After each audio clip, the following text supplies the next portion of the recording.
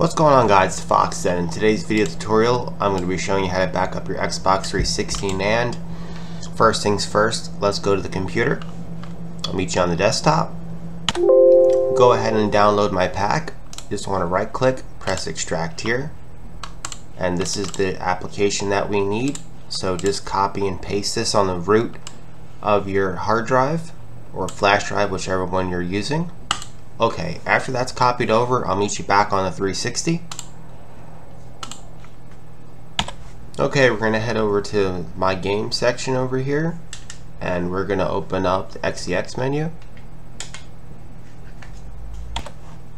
Okay, now we're going to head over to the root of our hard drive and we're going to run the dumping tool. I always recommend making two backups and go ahead and upload them to Mediafire. It's free to make an account. So just in case if anything you have it, if you have multiple Xboxes you might want to write down the serial number and keep it with the serial number. I'm going to show you how to do this from start to finish. It's really easy. So we're going to go ahead and press A on there and in the description I will have the uh, file that you need for this. So we're going to open this up, press A one more time and we're going to let this do its thing. Okay, after that loads up, you want to go ahead and press X. It only took a couple seconds for it to load. Now it's going to go ahead and do the dumping process. This will probably take a few minutes. I'll be back when this is done. It took under a minute to dump the NAND. It says it took 13 seconds, so just press any key to exit. That's just going to throw us back on the dashboard. I'll show you where the file is located on the hard drive so you can back it up safely. So I'll meet you on the computer.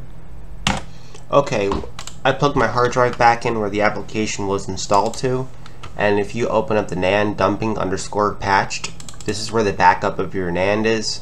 It doesn't matter I'll show it to you anyway I don't care because I'm not putting this online. That's the CPU key.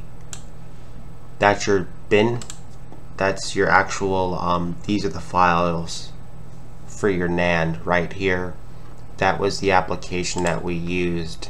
You don't have to worry about that and this was the um, log of what happened in the dumping process. It just tells you basically what happened with it. I recommend making two backups of this so you do have it and put it on Mediafire. Mediafire is a, is a free storage provider and the files never get deleted. Do not upload them to uh, Google it will it will be deleted in 30 days. So just create a free Mediafire account and it'll be all set ready to go. What you need to do is if you want to create another another backup of this, you just want to highlight this. You're going to cut this.